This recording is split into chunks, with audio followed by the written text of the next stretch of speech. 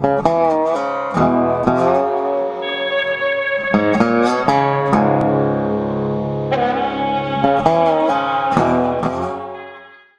guys, it's Megazom here. So today, this is a tutorial on, well, I've been playing some GTA a lot recently, and I got this one, uh, uh, mod, or, yeah, I guess you could call it mod.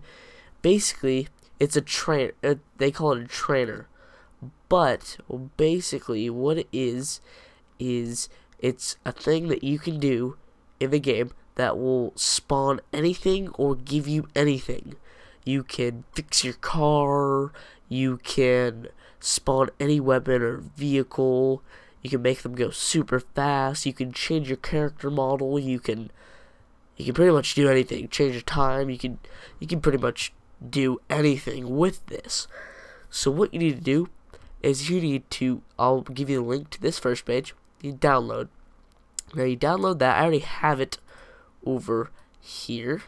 Now, what what this is is the ASI loader.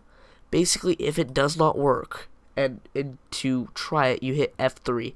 If it does not work, you go over here. I'll also give you the link. You download this, and you download, or, or no, you put in this file, this file right here, along with the other files I'm about to show you. Uh, to, you know, where to put it. So basically, you need to go into your computer, your local disk, and you want to go to wherever your Steam folder is. Mine is in Program Files 86. So you go down, we look for Steam. It's down here. Let's see. You go. Now you go to Steam Apps. Now you go to Common, and then you go to the game. This is for episodes from Liberty City.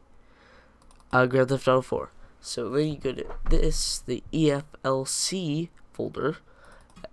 So yeah, episodes from Liberty City. Now you basically you put your stuff in here. All these, okay, so basically want to uh, extract your folder, and then you basically put these folders, no, these in here. Boom. Yes. Alright, do this for seven. Okay, I already have it installed, so I'm basically saving over them. Now, basically, I already have, see this? It didn't work for me. So I had to install this, or not install, you'd put this in here too, and then boom. Uh, move and replace. Alright. So that is it. That is all you have to do. And let's start up the game. I will come back to when we are in the game. Alright, we are back.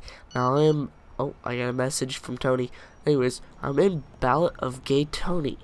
But of course, this works in Lost and the Damned. So don't worry about that. It, it works for both. So how to check? You hit F3. Brings up this menu here. Let me, let me move it over to the concrete so you can see. You have the options, car options, bodyguard slash uh, pedestrian spawning car spawning, mission help, model spawning, object spawning, teleporting, teleporting save, time, weapon, and weather. Now I'm not going to go uh, into this, what they are. I guess I'll do a video uh, into telling you what they do, and I'll do this. I'll do that after this. But that is the installing part of this mod.